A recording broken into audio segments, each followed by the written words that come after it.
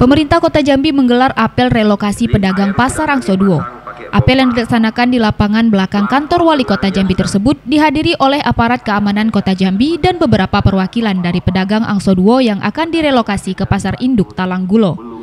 Dalam upacara tersebut, Wali Kota Jambi Haji Syarif Fasyah yang bertindak sebagai inspektur upacara menyampaikan bahwa pemindahan agen pedagang Angso Duo ke Pasar Induk Talanggulo merupakan salah satu program pemerintah Kota Jambi untuk menaikkan tingkat ekonomi masyarakat Jambi. Dengan mengaktifkan Pasar Induk Talanggulo diharapkan aktivitas pasar jadi lebih tertib. Setelah melakukan apel, Wali Kota Jambi juga melakukan perbincangan singkat dengan perwakilan pedagang Angso Duo. Dalam kesempatan tersebut, Wali Kota mendengarkan aspirasi dan keluhan pedagang mengenai fasilitas pasar induk Talanggulo.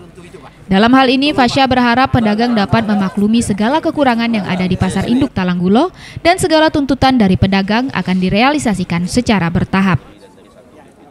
Kami apel eh, pasukan untuk pergeseran pedagang, agen, dan subagen di pasar induk karena pasar induk ini memang sudah dibangun disiapkan oleh pemerintah kota sudah hampir 10 tahun yang lalu dari tahun 2007 tetapi belum dioperasikan juga karena e, sesuatu dan lain hal.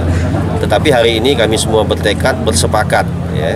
Kami pemerintah dibantu TNI Polri dan semua pedagang juga pedagang agen dan subagen untuk bergeser ke pasar induk ini semua. Nah tentunya kami bertanggung jawab terhadap pergeseran ini. Ya, tadi saya sampaikan kepada pedagang tolong dimaklumi dengan segala kekurangannya. Apabila masih ada kurang sedikit atau proses belum belum sempurna kami juga mohon dimaklumi. Karena memindahkan pasar ini memang butuh waktu. Tapi kita upayakan secepat mungkin bisa bergeser. Dan kami semua akan menampung aspirasi. Pasti banyak kekurangan nanti. Kami minta kepada dari Jambi Ria Agustin Tribrata TV salam Tribrata